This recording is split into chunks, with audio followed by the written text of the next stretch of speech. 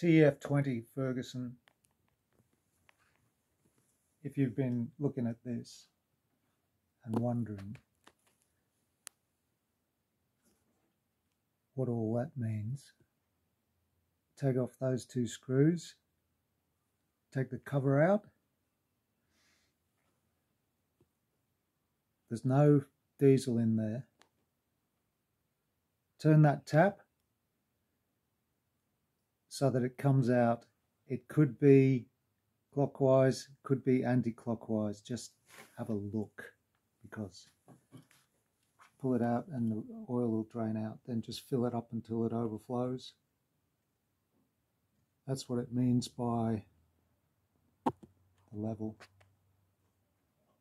And when it overflows, just screw those two screws back in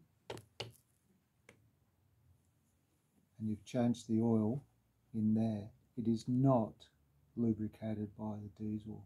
Like and it that is a drain plug.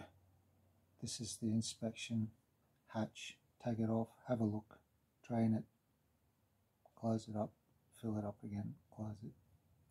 Thank you very much. Ferguson tef 20 lesson two